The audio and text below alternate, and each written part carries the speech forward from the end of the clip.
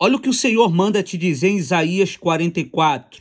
Agora, pois, ouve, ó Jacó, servo meu, ó Israel, a quem escolhi.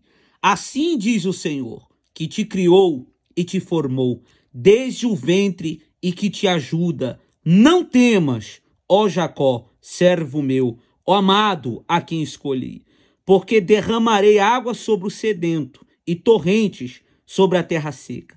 Derramarei o meu espírito sobre a tua posteridade e a minha bênção sobre os teus descendentes. E brotarão como a erva, como salgueiros, junto às correntes das águas. Um dirá: Eu sou do Senhor. O outro se chamará do nome de Jacó. O outro ainda escreverá na própria mão: Eu sou do Senhor. E o por, e por sobrenome tomará o nome de Israel. Assim diz o Senhor, Rei de Israel, seu redentor, o Senhor dos exércitos. Eu sou o primeiro e eu sou o último, e além de mim não há Deus. Quem há, como eu, feito predições desde que estabeleci o mais antigo povo? Que o declare e o exponha perante mim.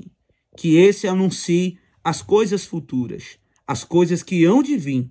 Não vos assombreis, nem temais. Acaso, desde aquele tempo, não vulo fiz ouvir? Não vulo anunciei? Vós sois as minhas testemunhas. Há um outro Deus além de mim? Não, não há outra rocha que eu conheça. Que Deus toque na sua vida através dessa palavra e que o Espírito Santo se aposte da sua vida. Não temas, porque o Senhor é contigo em toda e qualquer situação.